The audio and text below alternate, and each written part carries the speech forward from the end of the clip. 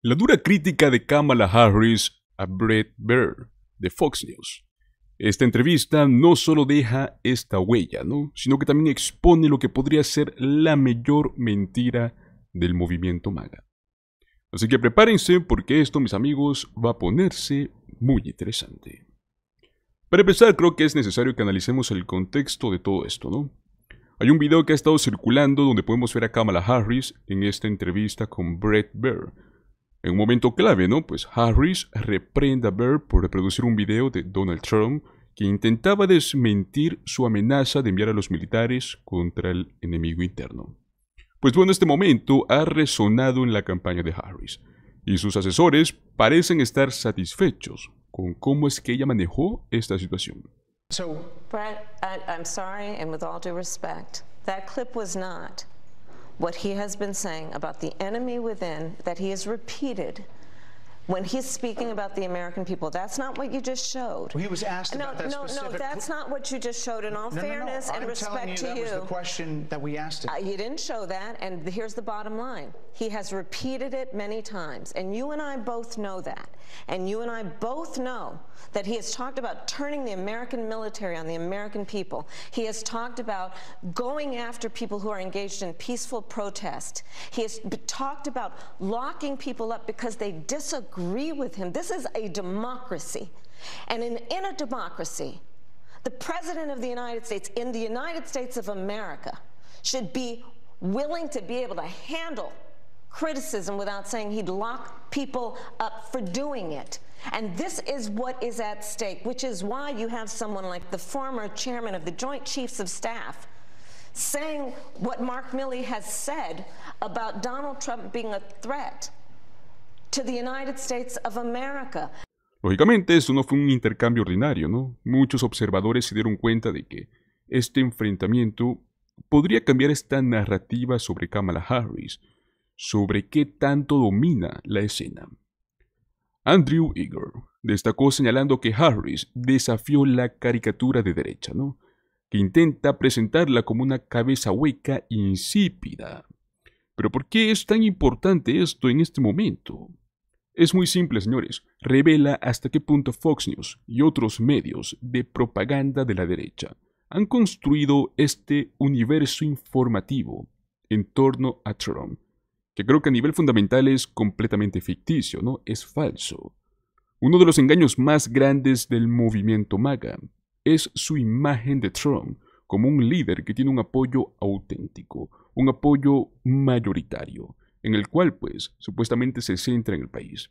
Sin embargo, yo creo que la realidad es opuesta, ¿no? Donald Trump, que nunca ha gozado de un respaldo mayoritario, ahora depende de un inmenso sistema de propaganda para poder mantenerse a flote. Entonces, pues Kamala Harris, con sus valientes respuestas, abrió esta puerta a una discusión más profunda sobre cómo es que se está manipulando mucho la información. Pero bueno, veremos más en esta historia. Regresando al tema del enfrentamiento, yo creo que es crucial resaltar que Kamala Harris realmente dijo muchas cosas importantes. Luego de que ella destacó la amenaza de Trump hacia el supuesto enemigo interno, pues Brett Baer trató de desviar esta atención, pero Harris no se dejó amedrentar. Afirmando esto, con el debido respeto, este clip no es lo que él ha estado diciendo. Fue lo que le dijo acusándolo de ocultar la verdad sobre Donald Trump. Mis amigos, lo que esto nos ilustra, nos revela, es algo extremadamente serio, ¿no?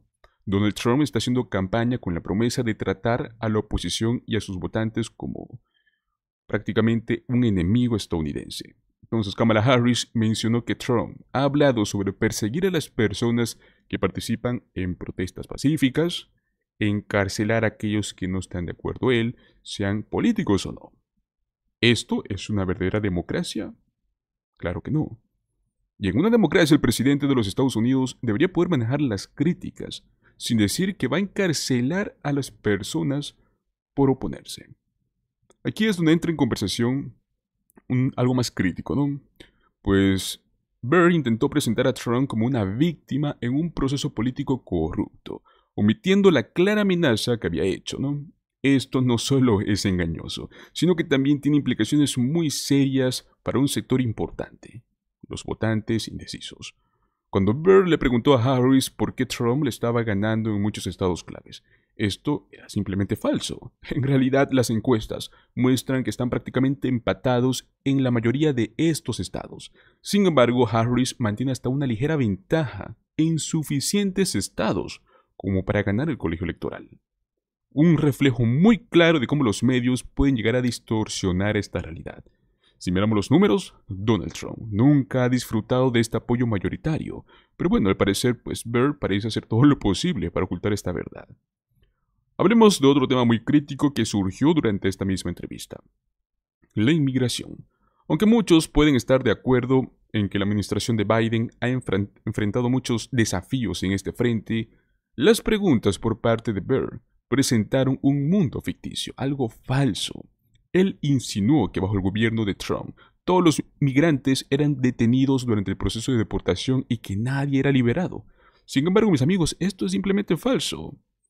El Consejo Estadounidense de Inmigración lo ha demostrado que solo una pequeña minoría de los migrantes detenidos fueron obligados a esperar bajo el programa de permanecer en México. Es más, de hecho, durante la presidencia de Trump, cientos de miles de migrantes fueron liberados. Entonces, yo creo que esto plantea ciertas preguntas, ¿no? O sea, ¿por qué es que Donald Trump liberó a tantos inmigrantes? Yo creo que la respuesta radica que el Congreso no le asigna suficientes recursos para procesarlos, para detenerlos, y la ley exige algunas liberaciones. Por lo tanto, esta narrativa que quisieron presentar sobre la inmigración es completamente simplista y engañosa. Al final del día lo que está en juego es la narrativa que se ha construido en torno a Trump y a su movimiento. Harris tuvo el valor de desafiarlo y su enfrentamiento con Burr expone cómo los medios pueden influir en la percepción pública. Pero a ver, ¿qué pasaría si Fox y otros medios de derecha no hubieran estado difundiendo esta propaganda durante al menos los últimos años, no? La realidad es que el movimiento MAGA es minoritario. Se presenta a sí mismo como el supuesto pueblo y a la mayoría no MAGA como ilegítima. Desde entrada esto ya nos viene distorsionando, que no solo afecta a Trump, sino que también tiene implicaciones más amplias para la democracia. Yo creo que sin duda en esta ocasión Kamala Harris merece todo el reconocimiento por desafiar los esfuerzos de Burr para poder limpiar la imagen de MAGA a nivel nacional. Su capacidad de poder confrontar estos desafíos, ¿no?